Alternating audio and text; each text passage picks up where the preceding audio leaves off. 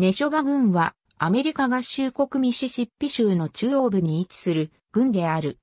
2010年国勢調査での人口は29,676人であり、2000年の28,684人から3.5%増加した。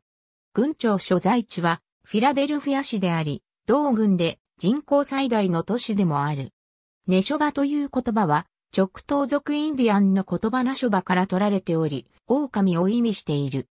ネショバ郡は、ネショバ軍祭とハーネス競馬で知られている。また1900年代初期から開業している、ウィリアムズ兄弟店もある。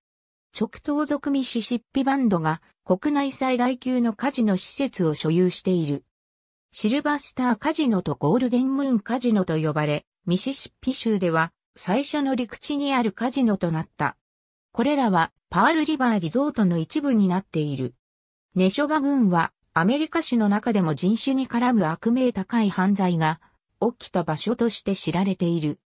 1964年、軍庁所在地のフィラデルフィアで、副保安官を含んでいたとされる白人至上主義者たちによって3人の公民権、運動家が残酷に殺された。この犯罪とその後長く続いた訴訟は、1988年の映画ミシシッピーバーニングに収められた。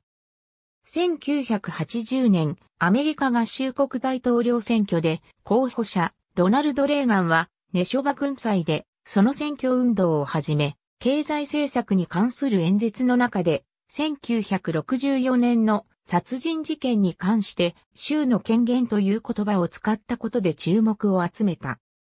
アメリカ合衆国国勢調査局によれば、軍域全面積は571.64平方マイルであり、このうち陸地570.00平方マイル、水域は1.64平方マイルで、水域率は0.29%である。以下は2000年の国勢調査による人口統計データである。ありがとうございます。